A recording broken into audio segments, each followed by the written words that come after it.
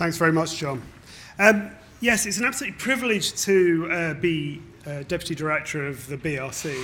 And I've been reflecting as we've gone through the day and heard all this amazing work that it was at the back end of 2015 when a whole group of us uh, got together and started really taking seriously the idea that it was time that Bristol had a biomedical research centre um, building on the uh, existing very successful uh, biomedical research units.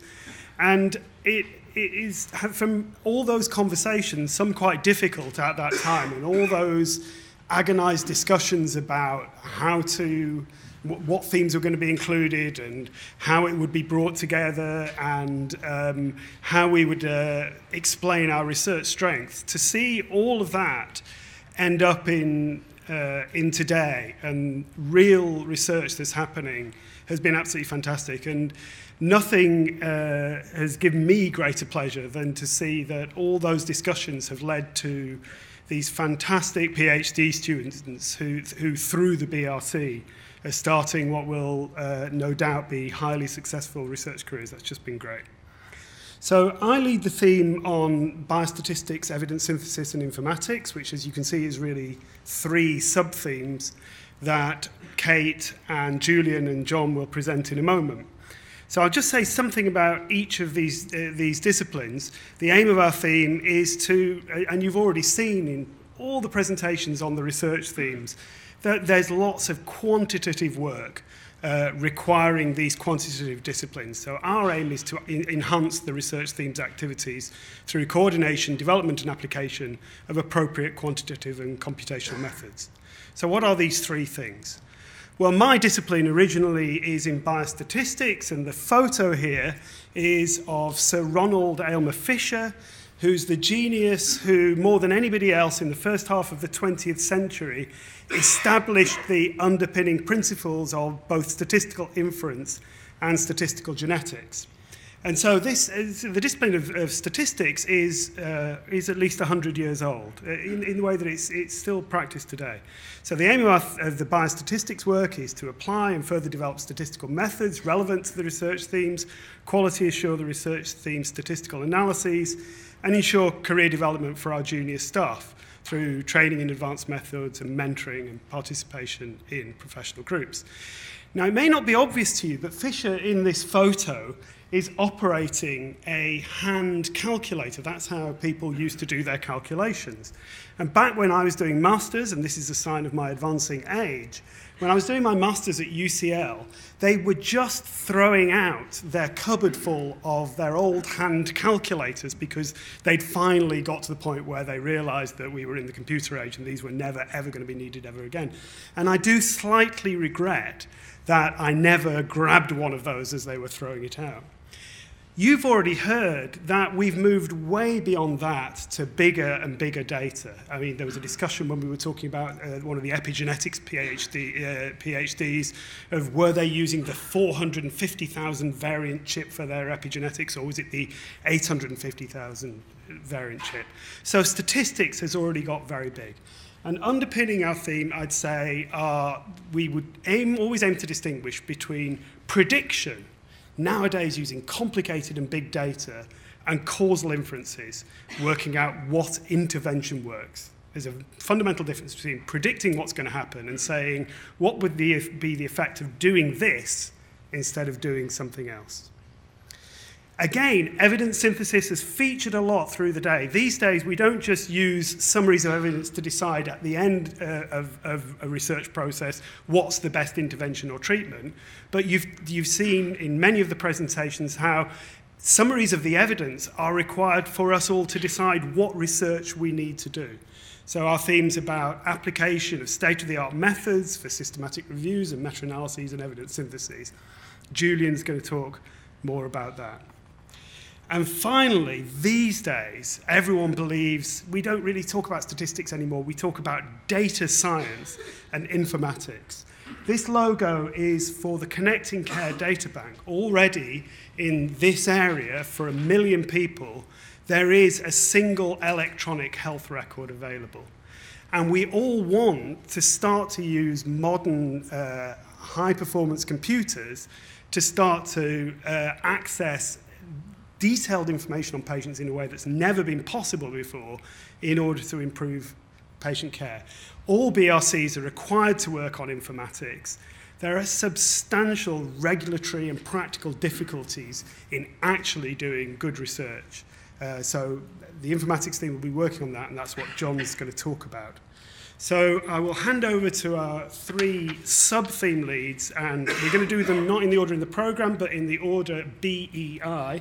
So Kate Tilling is going to talk about biostatistics.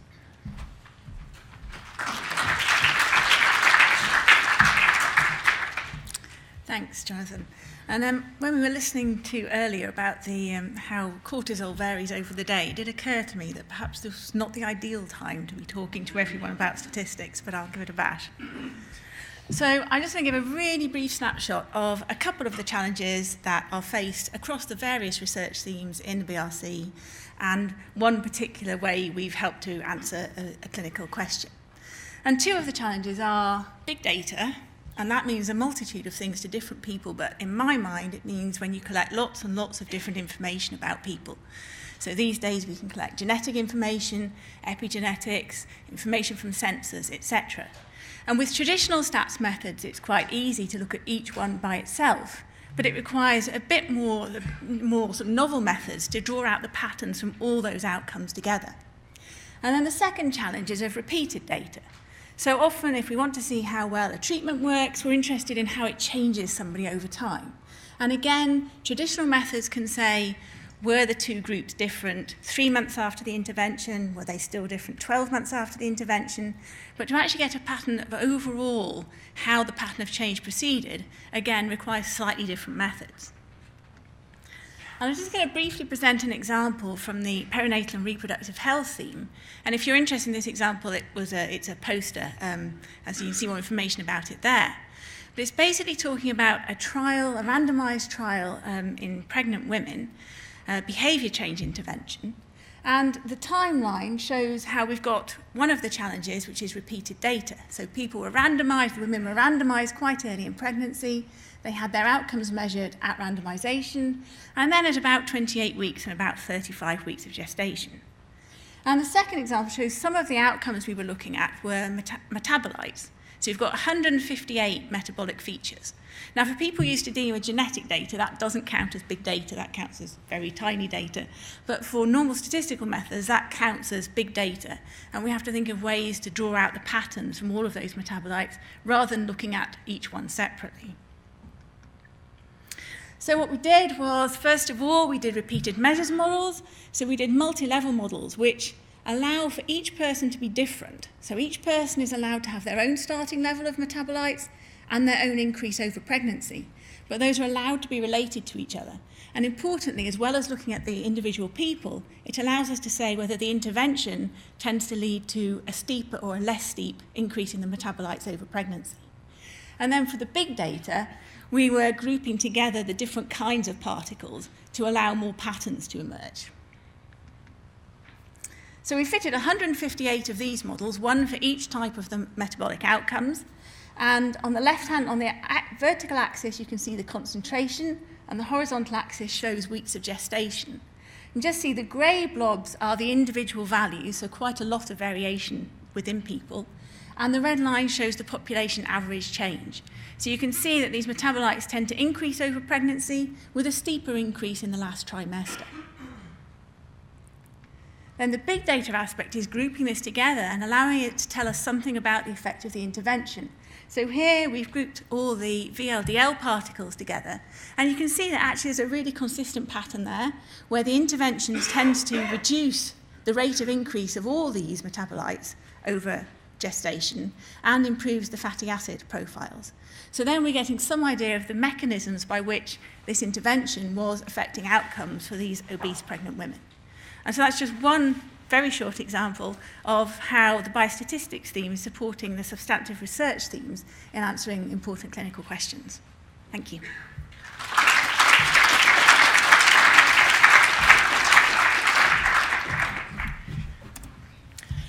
Ah, good afternoon. I'm Julian Higgins, uh, and I lead the co-lead with Nicky Welton the sub-theme on systematic reviews and evidence synthesis.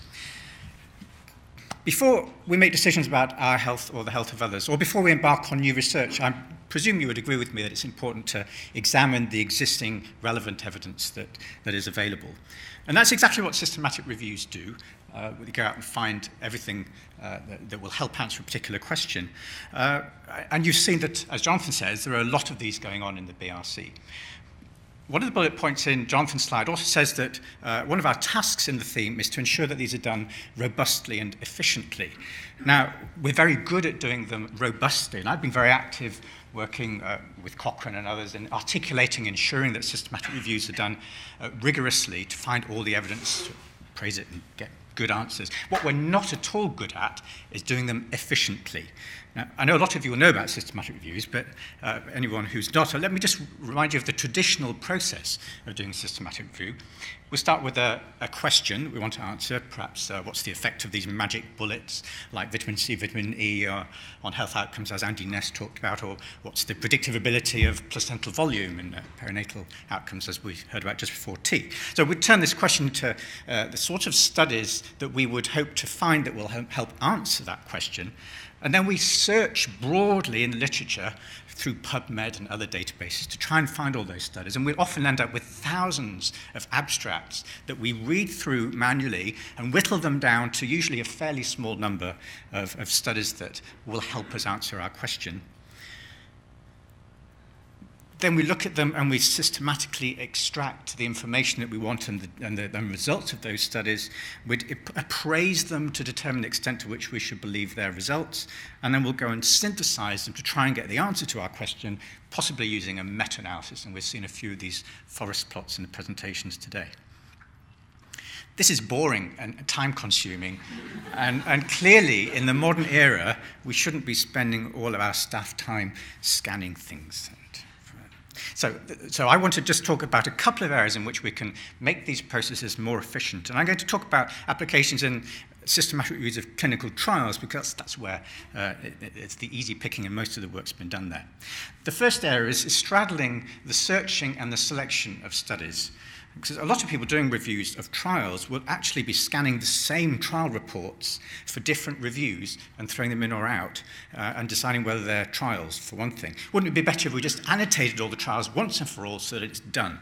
And that is happening now uh, in a project through Cochrane, led by my colleagues in London and Melbourne, Cochrane Project Transform. I'm just pulling out the, the, uh, the first main output of this, this, this lovely project. What they've got is a, is a big crowd. They're using crowdsourcing. There are 8,000 people in over 100 countries annotating trial reports uh, and, and, with multiple people assessing each one so that we get a pretty definitive view to whether it's a trial. And as you see there, they've got through 34,000 so far. But what's most exciting about this is that these carefully annotated trial reports are being used to train the computers to do their job. And, and the, the system they've built uses machine learning. It's incredibly precise.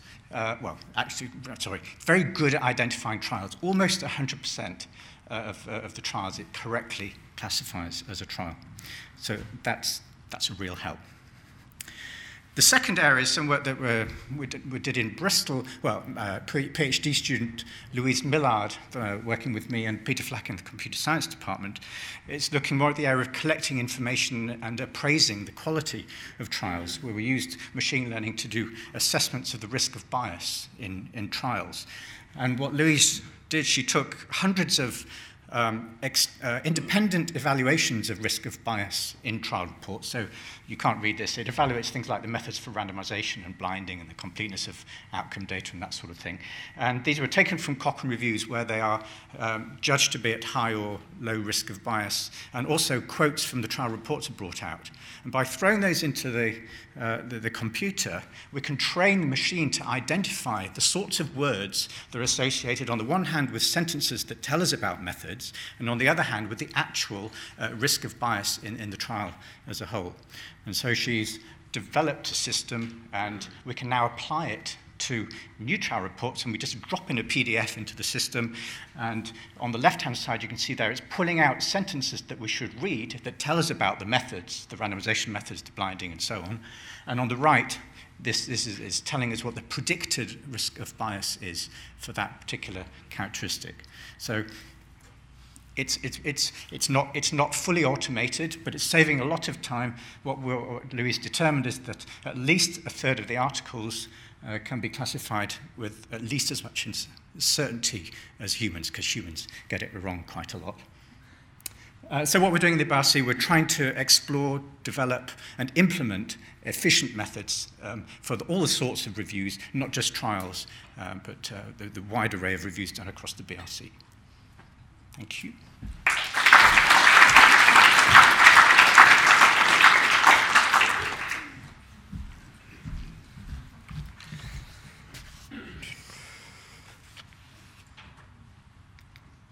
Thanks. So I'm just going to wind up this session by um, talking a little bit about the health informatics sub-theme of the cross-cutting theme that um, Jonathan's already told you about.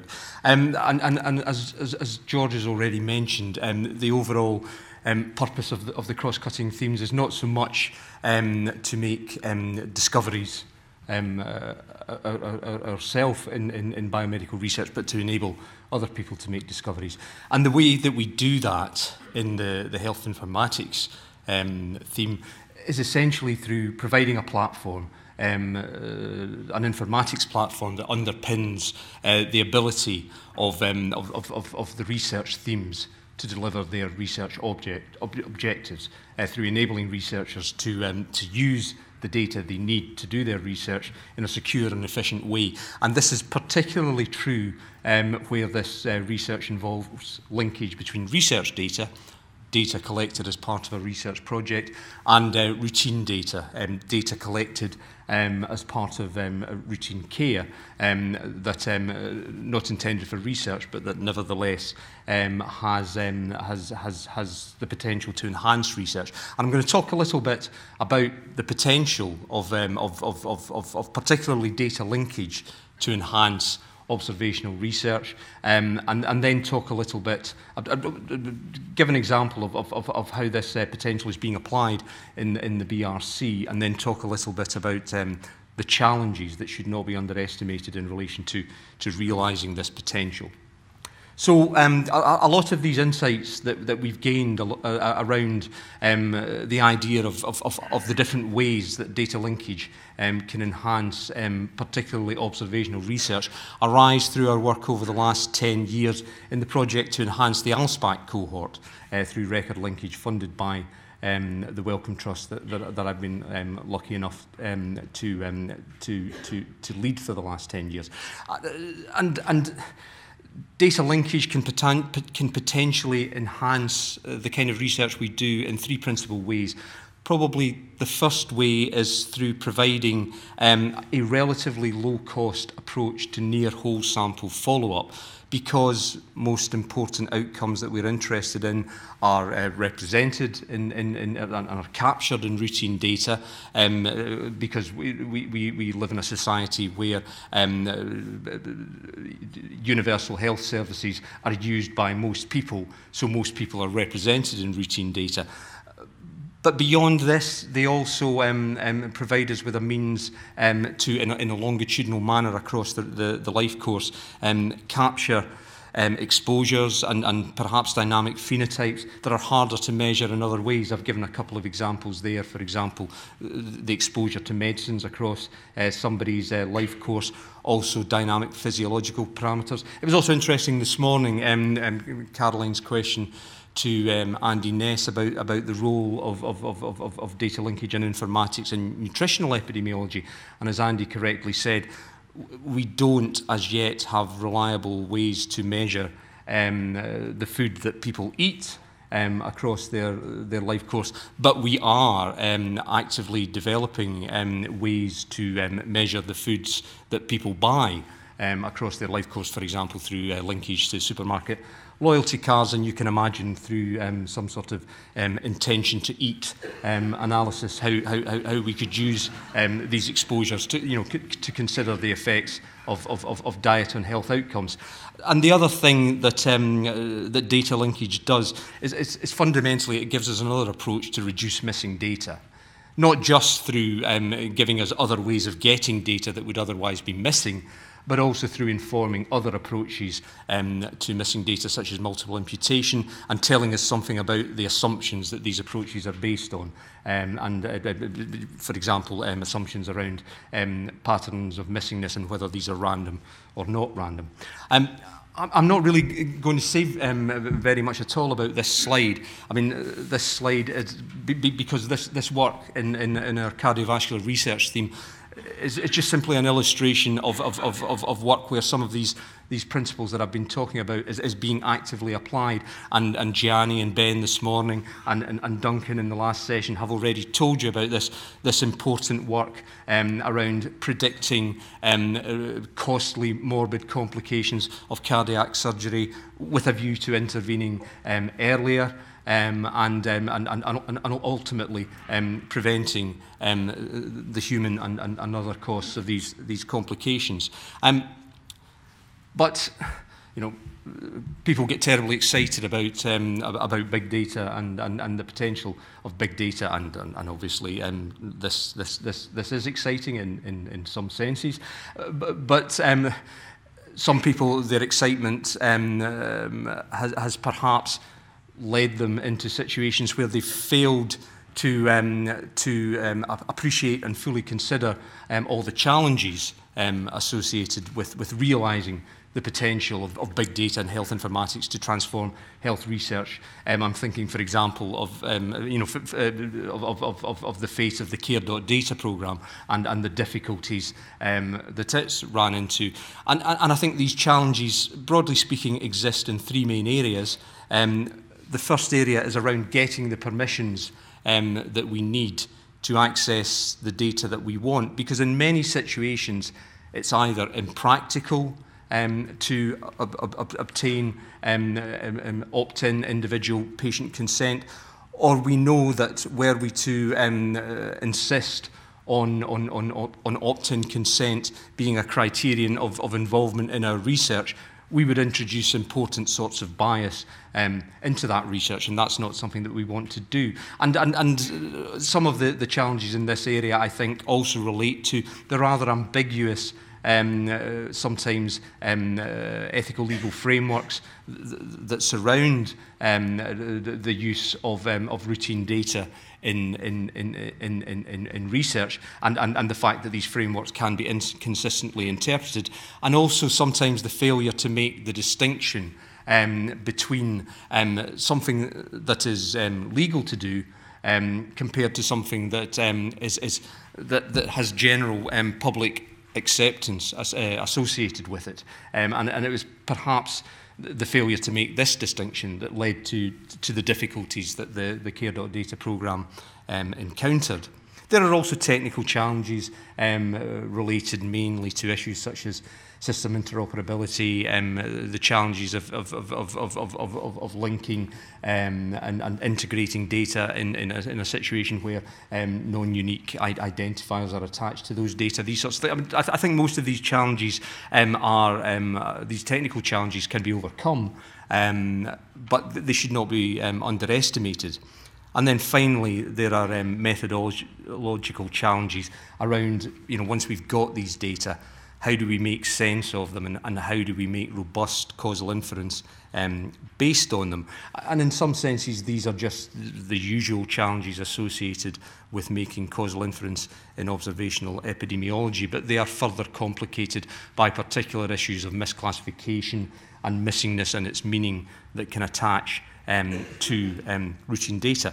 But we're working to overcome these challenges. Uh, we're working um, uh, with colleagues in Bristol uh, particularly in, in relation to the third of those challenges with colleagues in the, um, the MRC Integrative um, Epidemiology Unit um, to, um, to, to, to make robust um, causal inferences based on these data using the, the novel methods that they're developing and applying, but also beyond Bristol, for example, uh, with colleagues in the um, NIHR Health Informatics Collaborative, um, the partnership between um, five BRCs, um, one in each of Oxford and Cambridge and three in London, that we have recently been invited um, to join, which I think will particularly help us um, address some of the challenges in, in, in the first of these two categories. And um, as you've been hearing already, and, um, and, and, I, and I, I think we'll continue to hear this afternoon, we're just starting to realise some of the potential of health informatics um, to, um, to, to, to inform and, and, and, and, and in some cases to transform um, health research for um, patient and public benefit. Thanks very much.